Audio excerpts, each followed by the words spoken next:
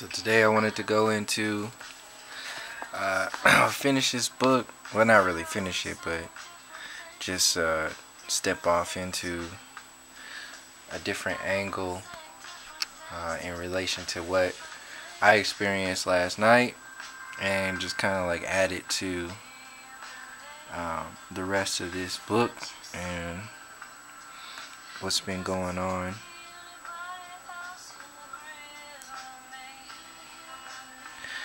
So, uh, last night I attended an open mic here in Sedona.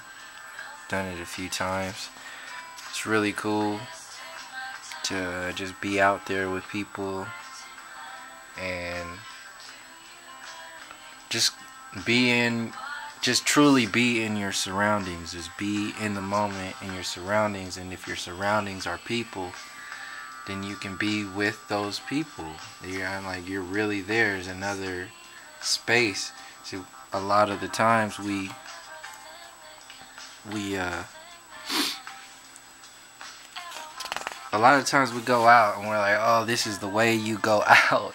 this we have an idea of what it is to go out, or you gotta look a certain way, you gotta dress a certain way, you gotta talk a certain way, you gotta be a certain way. It's a whole like all these structures that are available that only exist in our in our heads. They only exist in in an idea of something that somebody else put together.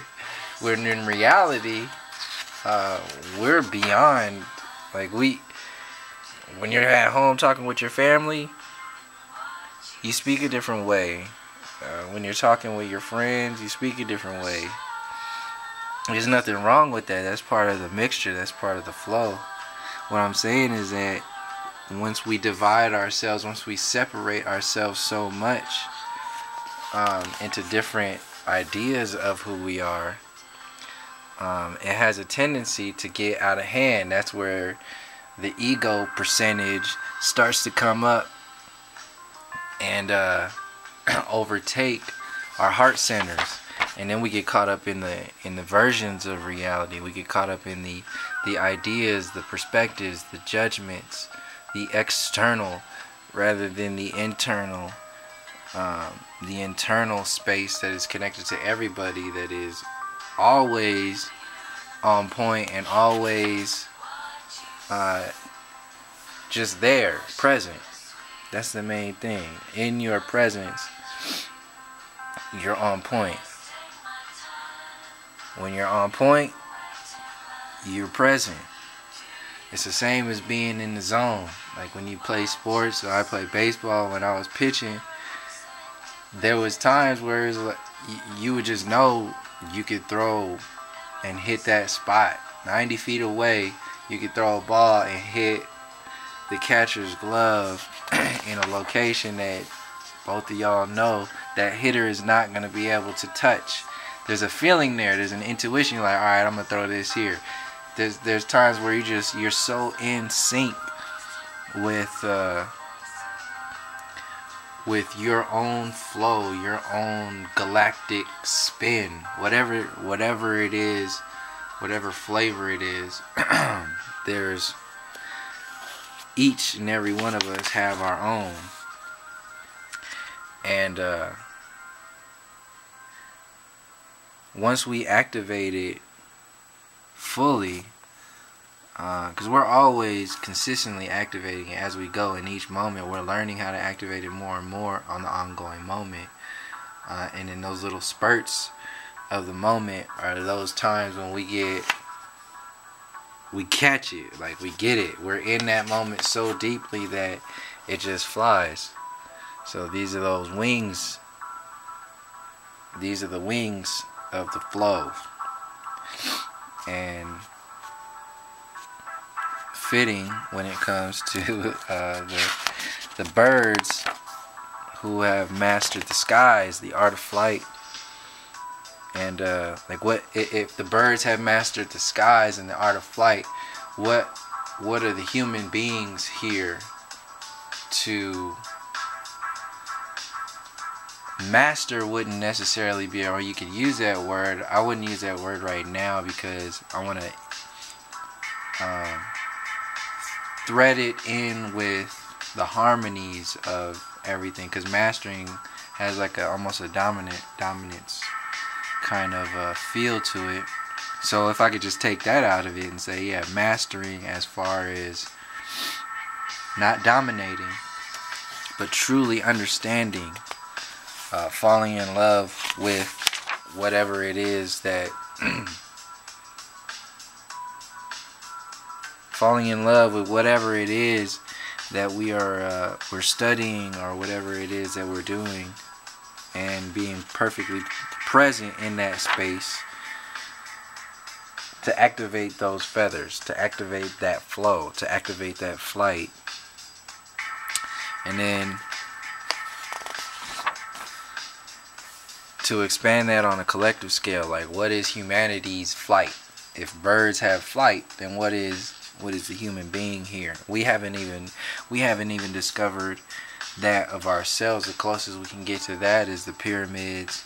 Today there is there there is nothing that the television can can can uh to say to anybody and be like, oh yeah, we mastered. No, no, no. The only thing you have come close to mastering is uh, theft, uh, illusion, and distraction. like anything else is just, um, it's just funny talk. It's just cuckoo. It's exactly what it is. Uh, so once we get out of those little uh, spaces where we don't necessarily know what what a duck is, a wood duck or a real duck. We've been uh, we've been in decoy mode for a long time, chasing around these little wood ducks and uh, forgetting about our, our true potential both uh, individually and collectively where we fly as those eagles the high flyers who bridge worlds and bridge dimensions. Creation. The thunderbird yeah, so when we when we access our own inner eagle, what does that mean? So go back in going back into last night.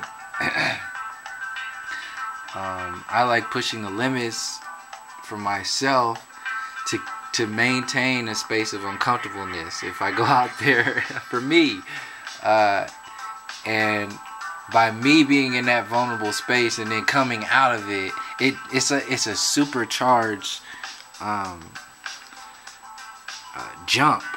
Whatever it is, I, I don't even fully understand it. I can just feel it in them. I can see it in people's faces when they go up and down and like the oh, cause I feel it too. I feel uncomfortable for people um, when they get embarrassed or when they do something that is not part of the show or what, whatever it is. I mean, we all have our own little insecurities and things in that nature, but uh, to do it, to go through it, and then come out of it is a different. It's a different flavor. It's a different experience. That's the main thing. It's a different experience. And I see the words open mic and I want to fly in the most extreme spaces. Why? Because I well, how far is open? Well, today open right now. Open when you go anywhere in an open mic, you mostly uh, get music.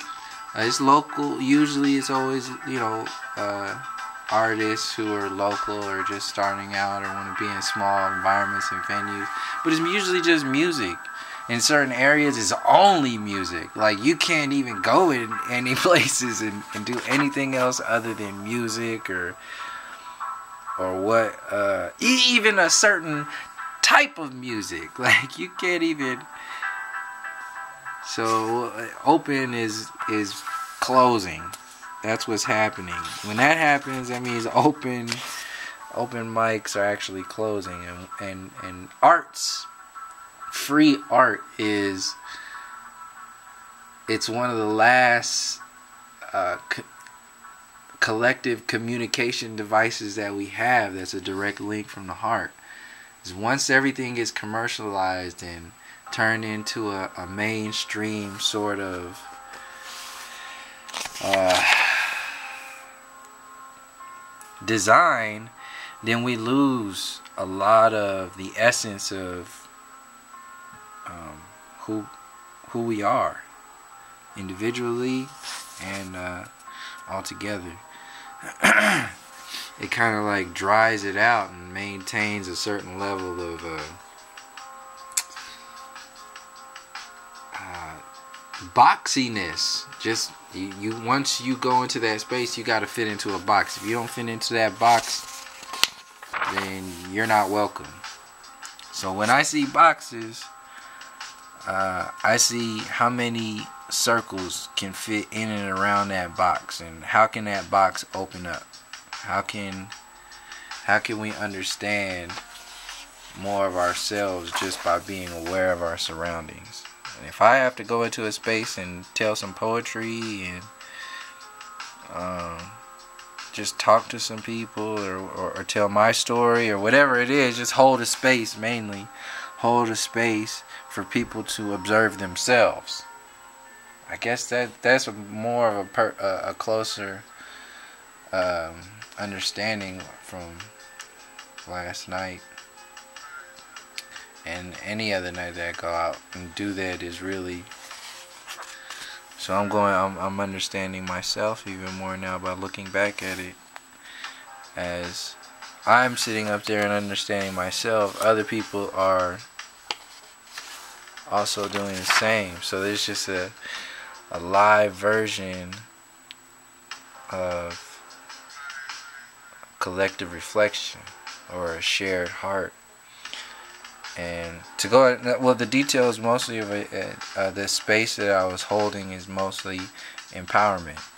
Just breathing empowerment holding space staying in the moment understanding compassion and connection and uh, being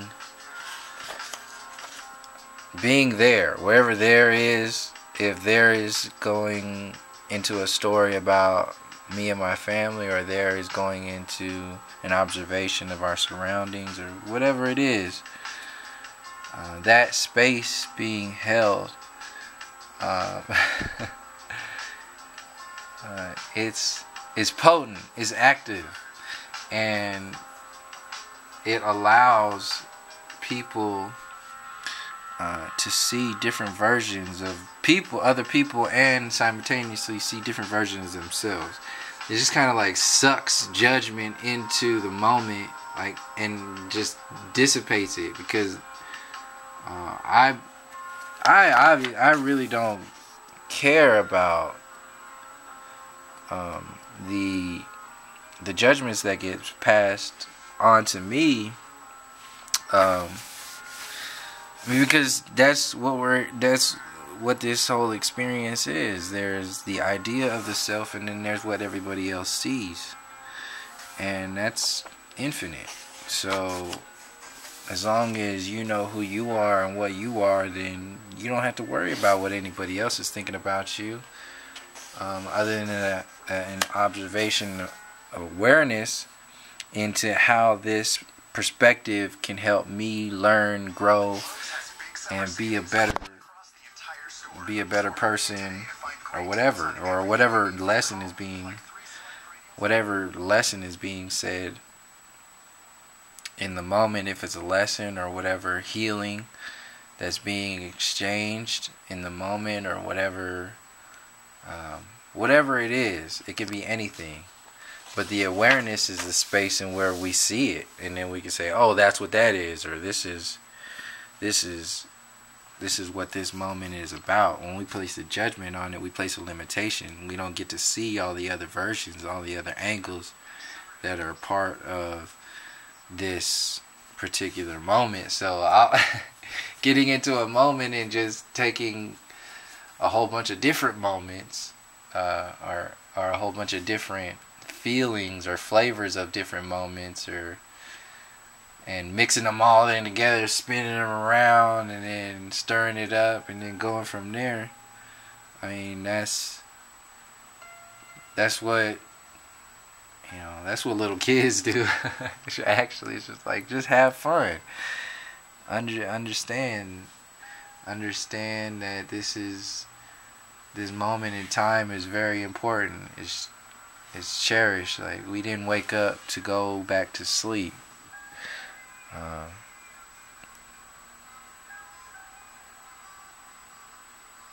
yeah. We'll wake up in the morning It's for a reason. many, many reasons that we uh, are understanding more and more every day. And uh, with that, I'll just I'll leave it at that and help people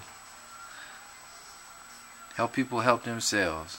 That's just a really cool way of seeing it. Have a good